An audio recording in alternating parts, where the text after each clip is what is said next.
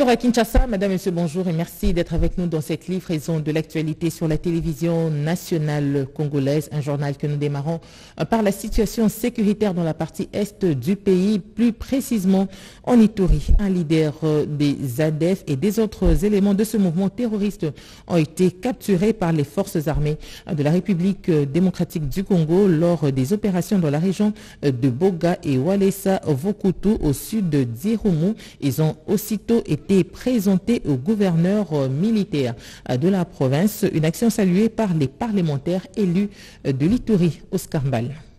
L'action menée par les forces armées est à la hauteur des ententes de la population de l'Ituri. Un leader des ADEF capturé avec plusieurs effets militaires à Kandoyi, dans la chefferie de Vonkutu, au sud du Romo, et deux autres éléments de ces mouvements terroristes appréhendés dans la région des Boga lors des opérations ont été présentés ce mardi au gouverneur militaire de l'Ituri. Ces chefs rebelles et ces éléments opéraient aux abords de la rivière Ituri, a dit le lieutenant Jules Ngongo, porte-parole de FARDC en Ituri. Le pont Ituri, à un certain moment, a été devenu le couloir de la mort, où les ADEF voulaient prendre cet espace pour mener leurs actions. À chaque fois, ils font leurs incursions. Et lorsque nous poursuivons ces ennemis, on était deux fois surpris qu'ils ont déjà traversé de l'autre côté. Et alors, c'est grâce à ces dinguis qui constituaient en fait euh, l'élément moteur de leurs actions. Au gouverneur militaire de l'Ituri, le lieutenant général Luboya Kashamadjoni de profiter de cette occasion pour appeler les groupes armés locaux favorables au processus de paix de respecter leur engagement.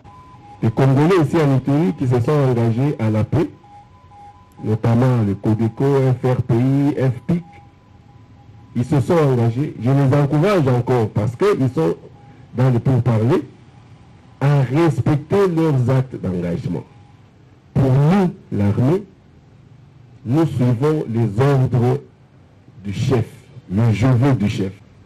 Pour le moment, c'est une opportunité, je voudrais que les gens comprennent très bien, c'est une opportunité que le chef donne à tous ces Congolais qui sont dans le groupe.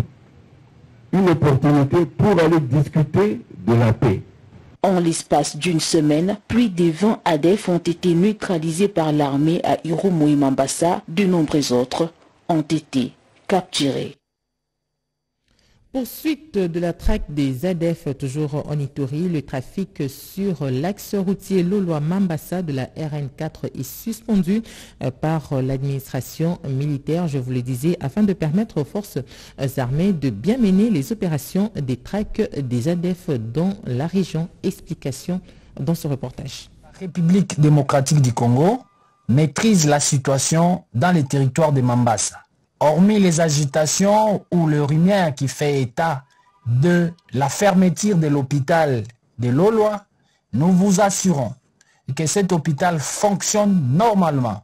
D'ailleurs, pour sécuriser de plus en plus la population de Loloa et ses environs, sur ordre du gouverneur militaire et commandant des opérations, lieutenant-général Luboya Kanchamadjoni, nous avons, il a ordonné de mettre en place les PC, donc le poste de commandement avancé à Loloa. Actuellement, où nous vous parlons, les forces armées, il y a un état-major, un poste de commandement avancé placé sur place à Loloa, dans l'objectif de répondre à toute éventualité toute velléité d'attaque et d'incursion des ADF. Et retenez que depuis la semaine passée, les forces armées mènent les opérations de traque contre les ADF en profondeur, ce qui a permis d'arrêter et de neutraliser nombreux entre eux. Quant à la situation de la circulation euh, de la route commande à Mambasa, pour dégager la zone, actuellement nous vous parlons, nous avons convoyé certains véhicules pour permettre à ce que ces véhicules puissent aller vers la destination. Mais l'objectif ultime pour nous, c'est traquer les ADF pour libérer cette route et que la population vague librement à leurs occupations. Voilà notre objectif final recherché. Pour le moment, nous appelons la population au calme, de continuer à collaborer avec les forces armées, de ne pas donner l'accès aux ADF, de collaborer avec les forces armées, de dénoncer tous les cas suspects. Car les forces armées sont résolument décidées de traquer ces hors-la-loi, de neutraliser tout ADEF partout où il est, il sera délogé. Nous appelons la population à continuer à soutenir son armée et à avoir confiance aux actions qui ont été menées, qui sont menées par les forces armées, dont l'objectif final, assurer la sécurité, la protection de nos populations. Lutte contre l'insécurité, cette fois-ci dans le Haut-Katanga, plus précisément à Kipushi. Le Premier ministre Jean-Michel Samalukonde Kenge a regagné Kinshasa après un séjour de 48 heures dans la cité euh, de Kipushi, dans le Haut-Katanga. Euh, sur place, le chef du gouvernement a présidé une réunion provinciale de sécurité. Faire l'état des lieux de la province du Haut-Katanga sur les plans social et sécuritaire, c'est la raison d'être de la réunion provinciale de sécurité qu'a présidé le Premier ministre Jean-Michel Samaloukonde Kenge avant de regagner Kinshasa. Cette rencontre élargie au gouverneur de la province Jacques Kiaboula a, selon les chefs de l'exécutif national, abordé entre autres la question des criminalités et des banditismes urbains. Euh, je vais d'abord rappeler euh, que euh, je suis venu ici dans une mission principale de lancement des activités de la société Kipushi Corporation pour la production de zinc. Et cette visite s'inscrit bien sûr dans la droite vision de son Excellence Monsieur le Président de la République en ce qui concerne non seulement la création d'emplois, l'investissement, l'amélioration du climat des affaires et surtout des opportunités économiques pour notre jeunesse, particulièrement celle du territoire de Kipushi où nous sommes ici. Ensuite, la réunion de sécurité de la province, nous avons tenu à la voir euh, symboliquement dans le territoire de Kipushi, dans cette salle mythique du cercle Kamarengue. Ce qui ressort, euh, c'est qu'il y a un travail accru à faire en ce qui concerne la lutte contre la criminalité et euh, le banditisme urbain. Ensuite, euh, d'autres phénomènes euh, comme euh, ceux des Bakatakatanga, sur lesquels aussi les services de sécurité travaillent pour complètement les éradiquer. Les questions d'ordre social, notamment celles liées au panier de la ménagère, n'étaient pas en reste lors de cette rencontre d'équipe Pouché que le chef du gouvernement a qualifié de symbolique. Mais nous avons évoqué aussi d'autres sujets de l'heure. Tous les jours, nous travaillons pour l'amélioration des prix des, denrées, bien que le contexte mondial fait qu'il y a beaucoup de pression euh, de ce côté-là. Et euh, nous avons touché un point particulier parce que nous souhaitons avoir une rentrée scolaire euh, apaisée pour voir comment s'y appuyer ce secteur-là. Juste après, le contesté Jean-Michel Samaloukonde Kienge s'est dirigé vers la route Lukonde. Jean-Michel Samaloukonde Kienge s'est vu dans l'obligation de s'arrêter et d'écouter les désidératas de la population qui réclame l'asphaltage de cette artère pour désenclaver et faciliter la circulation des personnes et de leurs biens. Au croisement des avenues est érigée la stèle en mémoire de Stéphane Lukonde Kienge, père biologique du Premier ministre, et de Benoît Koni Kiamukende, ces deux notables Katangé assassinés en ces lieux. Insécurité toujours dans les États africains. Cette fois-ci, cette question demeure une réelle préoccupation euh, pour les réseaux des parlementaires membres de la Commission euh, Défense et Sécurité. Euh, ce mercredi, le président de la Commission Défense et Sécurité de l'Assemblée nationale a informé le deuxième vice-président de la tenue à Kinshasa de la sixième conférence des réseaux des parlementaires africains. Robert Ndeye, reportage. Enregistré lors du 42e sommet de la communauté de développement de l'Afrique australe, tenu à Kinshasa, la République démocratique du Congo va prendre le flambeau du réseau des parlementaires africains, membres des commissions de défense et sécurité au mois d'octobre prochain. Le réseau regroupe à ce jour 47 pays membres. Ce mercredi 24 août 2022, une forte délégation des parlementaires africains conduite par l'honorable Bertin Moubonzi a informé le deuxième vice-président du Sénat, honorable Sangouma de Moussaï, de préparatifs des assises de la sixième conférence du réseau des parlementaires, membres de la commission défense et sécurité. Au cours de cette sixième conférence, la République démocratique du Congo prendra les marteaux des commandements en succédant au Nigeria. Nous avons reçu euh, des partenaires venus de Côte d'Ivoire, euh, d'une grande organisation allemande, Konrad Adenauer, et qui sont venus pour se rassurer que la République démocratique du Congo était déjà engagée et en train de préparer euh, non seulement la tenue mais la réussite de cette conférence.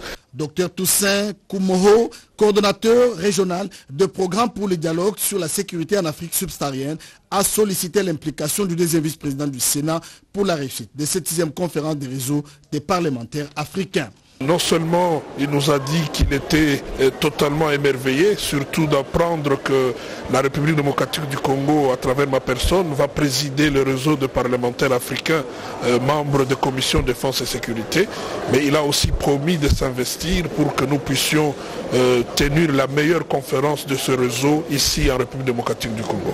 S'unir pour une lutte efficace contre l'insécurité en Afrique, cette volonté du REPAM est soutenu par le deuxième vice-président du Sénat, honorable Sangoma Temongo de Mossai, qui rassure de l'accompagnement du gouvernement congolais pour la tenue de cette sixième. À la centrale électorale, l'heure est à l'échange d'identification. Un atelier a été organisé pour ce faire par le président de cette commission électorale. Il y a de plus en plus d'assurance que les déplacés, les réfugiés et les Congolais vivant à l'étranger votent aux prochaines élections. Pour des modalités pratiques, les experts de la Commission électorale nationale indépendante, du Haut Commissariat des Nations Unies pour les réfugiés, du Bureau de coordination des affaires humanitaires des Nations Unies, l'Organisation internationale pour les migrations et ceux des ministères des Affaires étrangères, sociales et intérieures sont un atelier d'échange sur l'identification et enrôlement des déplacés internes et des Congolais résidant à l'étranger. Ces derniers réfléchissent sur les modalités pratiques et les dispositions à prendre pour identifier et enrôler les déplacés à l'intérieur du pays, mais aussi des, compatriotes vivant à l'étranger.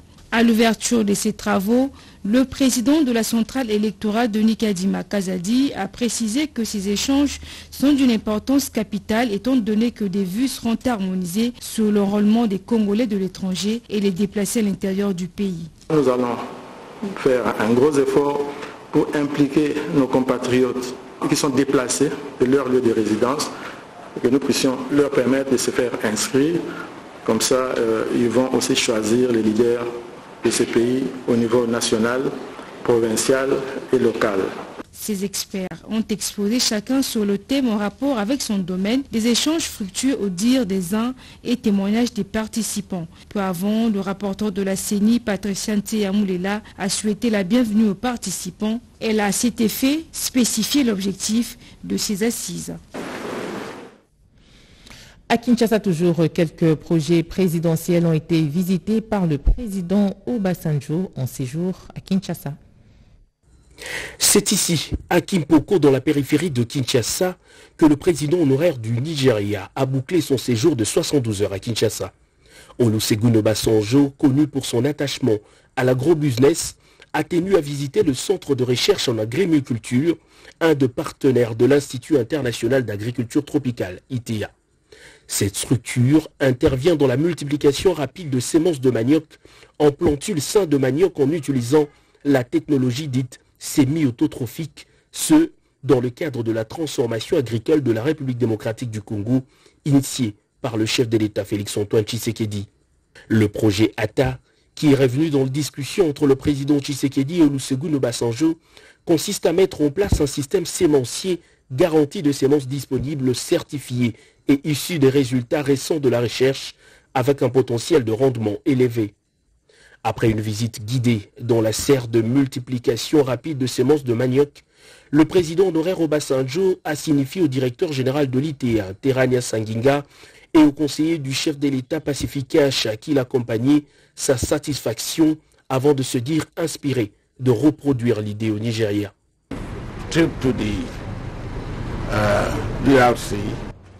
Mon arrivée ici au RDC est d'abord de rencontrer mon frère, le président de la RDC, Félix Antoine Tshisekedi, afin de le féliciter de vive voix pour son accession à la présidence de la SADEC, qui est un mandat important, et je suis convaincu qu'il amènera la communauté à un niveau plus élevé. Aussi, le président et moi avons discuté en long et en large sur les problèmes de sécurité que traverse l'Afrique en général et la RDC de manière particulière, et comme vous le savez, quand il y a des problèmes de sécurité, nous ne pouvons pas garantir la sécurité alimentaire ni nutritionnelle. Donc les efforts qui sont en train d'être fournis dans le secteur agricole a besoin que nous ayons un climat de paix. Je suis très content de ce que je viens de voir ici. Je salue les efforts du chef de l'État pour son implication personnelle à ce programme ATA RDC.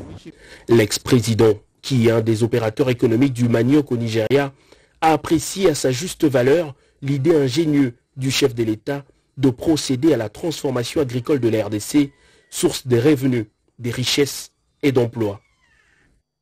Vous allez corriger avec moi qu'il s'agissait du président honoraire du Nigeria, Obasanjo. La 123e session du synode de la communauté évangélique de l'Alliance du Congo, CEAC, a vécu dans la ville de Boma au Congo central. Le secrétaire général de l'UDPS était présent. En partance pour la ville de Boma, les cortèges du numéro 1 de l'IDPS a été stoppé au niveau des Mantermes par une foule nombreuse qui avait vivement manifesté l'intention de communier avec ce haut cadre du parti cher à Etienne Tshisekedi Mulumba. Face à cette situation, Augustin Kabouya était obligé à faire la marche à pied pendant quelques minutes. Fatigué, mais poursuivant toujours, l'émissaire politique de Félix Antoine Tshisekedi Chilombo était encore surpris à l'entrée du centre-ville de Boma par une marée humaine qui l'attendait depuis le matin. Ici, Augustin Kabouya était obligé de s'adresser aux combattants chauffeurs blancs qui ne voulaient pas se séparer de lui. Les dimanches matins, les sites de la communauté évangélique de l'Alliance au Congo, CAC, étaient pris d'assaut par ces inconditionnels de l'IDPS venus accompagner leur secrétaire général à la clôture des 123e sessions de l'Assemblée générale synodale de cette communauté. Dans son mot, le président représentant légal pasteur Marcel Bunda a sollicité l'appui du chef de l'État et du gouvernement pour booster certains projets de développement communautaire dans cette ville, à l'occurrence la réhabilitation du port de Boma et tant d'autres. À son tour, les chrétiens pratiquants Augustin Kabouya a rassuré l'assistance du soutien des chefs de l'État à toutes les initiatives qui contribuent au développement du pays avant d'appeler ces bergers à se consacrer plus à leur sacerdoce qu'à jouer les jeux des politiciens. Après la cérémonie officielle, l'envoyé de Félix Antoine Tshisekedi Chilombo a eu une entrevue avec une délégation des responsables de cette communauté dans son bureau de circonstances de Boma. En politique, un cadre de l'UNC, Coco Kabwe, a sensibilisé la population sur les idéaux et les réalisations du chef de l'État, Oscar Ball. Nous sommes dans les territoires de Kassongo, province du Maniema. Effervescence populaire à l'arrivée de Coco Kabwende. Au cours de ces meetings populaires, Coco Kabwende a invité la population à soutenir les actions du président de la République, Félix Antoine Tshisekedi Chilombo, et à adhérer massivement à l'UNC de Vital Caméré. Juvenal Kabwende, conseiller du chef de l'État qui retrouve la terre de ses ancêtres tant temps après, a annoncé un ralliement de taille celui de Coco Kabwende. Nous avons choisi aujourd'hui l'INC, c'est l'effervescence populaire. Donc il y a une adhésion massive pour l'INC. Nous allons nous joindre à Vital Kamere qui incarne le leadership de l'Est. L'INC Kassongo va être avec lui. Coco Kabwende, qui évoluait sous le label d'un autre parti politique, a par cette adhésion offert une radio rurale dénommée Watoto Wababa au chef de l'État pour sa prochaine campagne électorale prévue en 2023 avec une couverture dans toute la chefferie de Nonda. Au nom du chef de l'État, euh, de son partenaire Vital Kamere, je remercie l'honorable Coco Kabwende pour avoir mis à la disposition de nous, les collaborateurs du chef de l'État, cet instrument important pour la propagande. Nous allons faire rapport à qui des doigts. Merci beaucoup. Merci beaucoup. Ces deux fils du terroir se sont engagés à vulgariser à la base les actions à impact visible du président de la République, Félix Antoine Tshisekedi Chilombo, ainsi que de l'autorité morale de l'UNC, Vital Kamere. Une synergie entre les avocats des barreaux des États de la CEAC, le réseau des unions et associations des jeunes avocats des barreaux de l'Afrique centrale s'emploie à travers la deuxième édition des universités des jeunes avocats à relever le défi commun lié à la formation. On en parle avec Cédric Enina. Capitale du jeune avocat de l'Afrique centrale. La deuxième édition des universités du jeune avocat, initiative du réseau des unions et associations des jeunes avocats des barreaux de l'Afrique centrale, se veut ces cadres sous-régional des réflexions sur les difficultés liées au nouveau marché dans la sous-région. Formation continue du jeune avocat, son réseautage constitue ni plus ni moins les défis communs des avocats de l'espace CEAS. Nous ne pourrons cacher le rêve que le jeune avocat de l'espace CEAC caresse, celui de rendre effectif et matériel l'intégration sous-régionale qui favorisera la libre circulation au sein de notre sous-région à l'instar de nos homologues de l'espace UMOA. Nous croyons ce rêve d'avoir dans un avenir proche une réglementation supranationale qui conduira nos barreaux respectifs à sortir euh, du jour des lois nationales. Autour du thème Le jeune avocat face au marché de nouveaux droits, les participants vont s'employer à l'intégration et uniformisation des replis professionnels. Les réseaux des unions et associations des jeunes avocats des barreaux de l'Afrique centrale s'est vu les cercles s'agrandir à 15 États unis pour une vision commune. La formation professionnelle, socle de création d'une classe moyenne, Kinshasa abrite l'atelier d'actualisation de la note de cadrage et de rédaction de la feuille de route pour l'élaboration du répertoire opérationnel des métiers. Cédric Elina.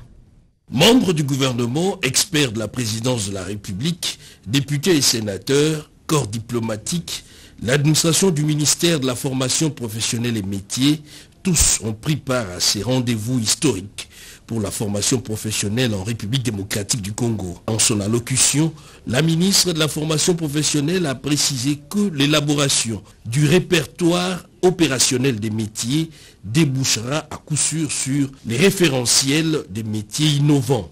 Il vient à point nommé, selon elle, avec comme but de révisiter la note des cadrages qui constitue l'outil essentiel du travail qui a été élaboré depuis 2014 par le ministère du Travail, Emploi et Prévoyance sociale.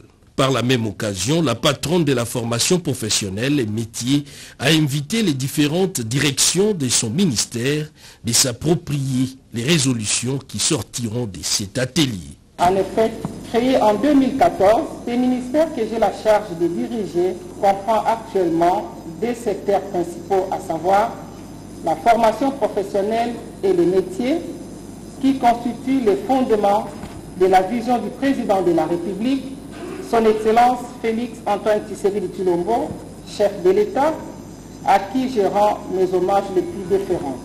La valorisation des métiers constitue une approbation efficace qui permet à s'assurer que chaque citoyen congolais, peu importe son âge ou sa situation sociale, soit formé et qualifié pour un emploi ou un auto-emploi. Il faut noter par ailleurs que cet atelier se tient à quelques jours seulement du lancement de la session ordinaire de l'examen national des fins d'études professionnelles. À la recherche scientifique, le ministre José Mpanda Kabangu a doté le personnel du secrétariat général des véhicules pour un bon rendement. Reportage.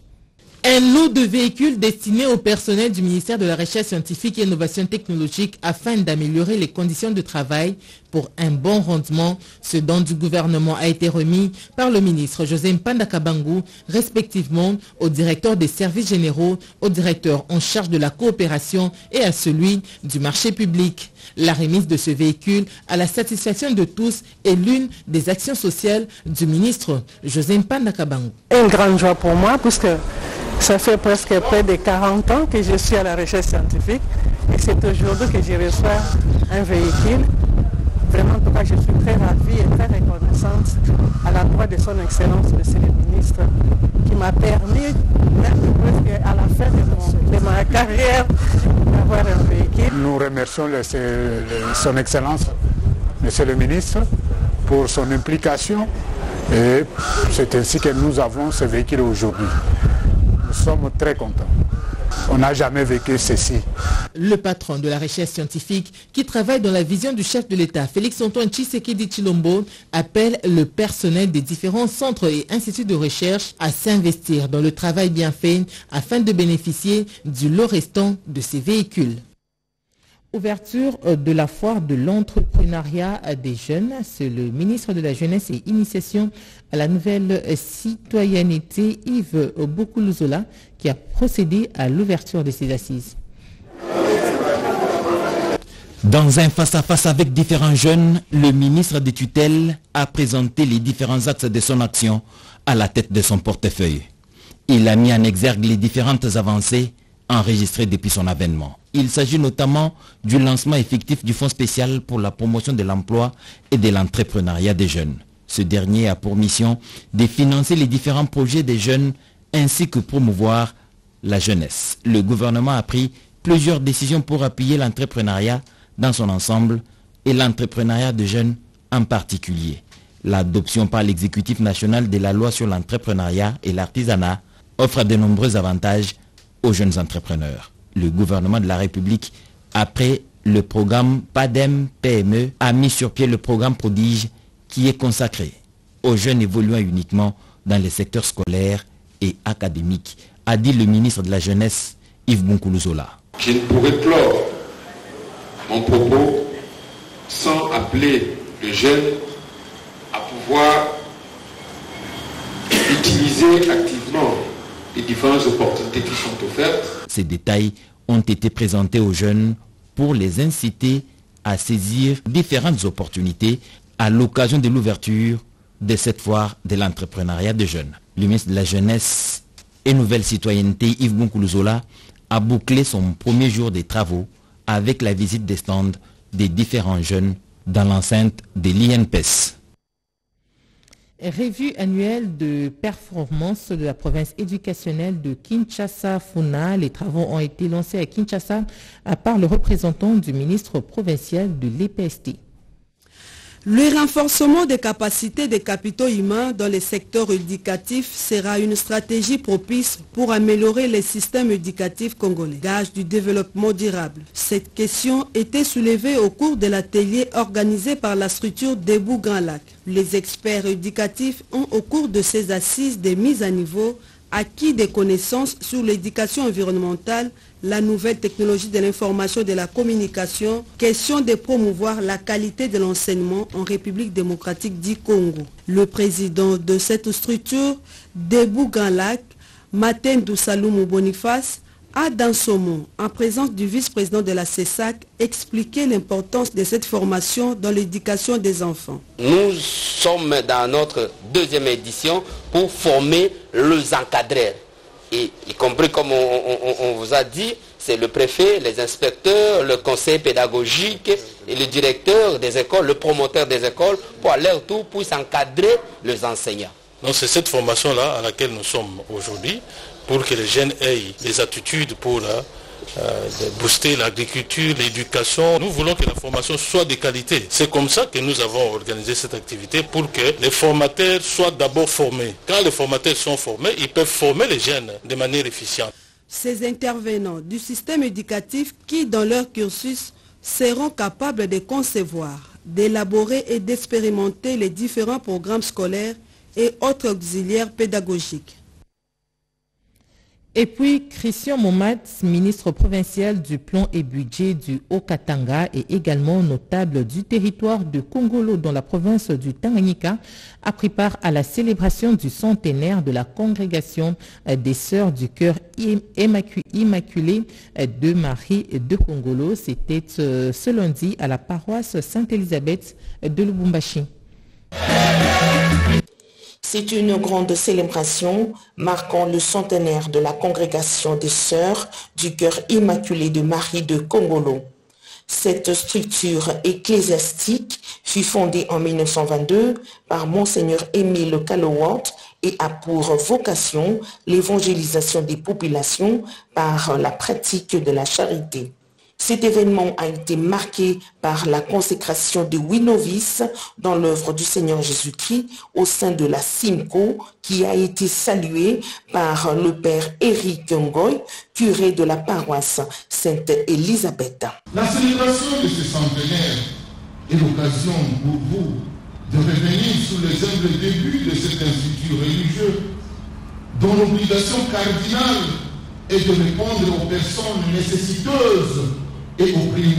Parmi l'assistance, Christian Momat, ministre provincial du budget et plomb du Haut-Katanga et également notable du territoire de Congolo, était très enchanté du centenaire de la Simco. C'est vraiment une très grande joie pour moi que de prendre part à cette fête de centenaire. Ma famille trouve ses origines dans le diocèse de Congo. Une joie immense a caractérisé les chrétiens catholiques venus célébrer ce centenaire. Vous savez, le président de la République, Félix-Antoine Tshisekedi Chilombo, a inauguré le mardi 23 dernier l'usine de traitement d'eau potable de Lemba Imbu. Et le ministre des Ressources hydrauliques et électricité, Olivier Mwenze Moukaleng, invite la population à respecter ce bien pour ne pas réduire au néant les efforts du chef de l'État.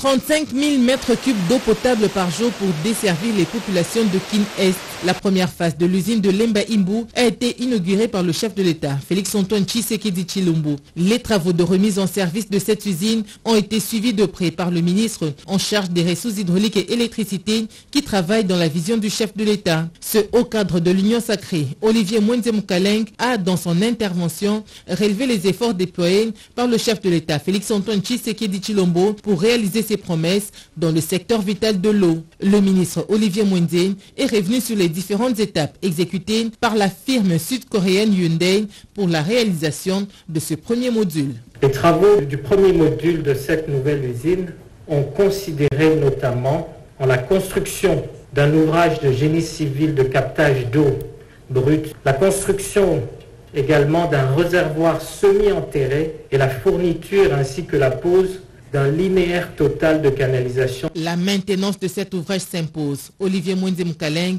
invite la population à protéger cet ouvrage. Tout en nous réjouissant de la réalisation de cet ouvrage, il est de notre responsabilité d'exhorter la population à le protéger, à protéger les berges et les points de captage et surtout à éviter d'y jeter des déchets pour ne pas réduire à néant l'accomplissement des efforts inlassables du chef de l'État et de son gouvernement à améliorer la desserte en eau potable en faveur de nos communautés.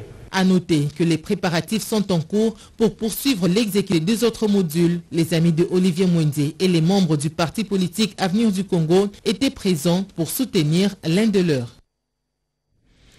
Et puis ce communiqué officiel avant de nous séparer, la direction générale de la dette publique porte à la connaissance des candidats ayant déposé un dossier dans le cadre du processus de constitution de sa réserve de recrutement qu'ils doivent consulter le site www.dgdp rdc en particulier les listes de candidats retenus pour participer aux tests de sélection qui se tiendront dimanche 28 août 2022. Chaque candidat sera informé par email via un code QR destiné à lui permettre d'accéder au site d'organisation des tests qui lui sera communiqué. Tout candidat retenu qui n'aura pas reçu son code QR au 22 août 2022 devra réclamer au plus tard le 24 août 2022 à l'adresse suivante dgdp.abnrecrutement.com. C'est un communiqué signé Laurent Batoumona. Madame, Monsieur, nous vous disons merci de nous avoir suivis. Ce journal a été réalisé par Discover Pongo et Mamita Bangolo. La partie technique était assurée par Jerry Mawassa et Émile Zola. Le prochain rendez-vous avec l'actualité, c'est tout à l'heure à 13h30 avec Georges Frédéric Dibou. Dans l'entretemps, excellente suite de programmes sur nos antennes. Au revoir.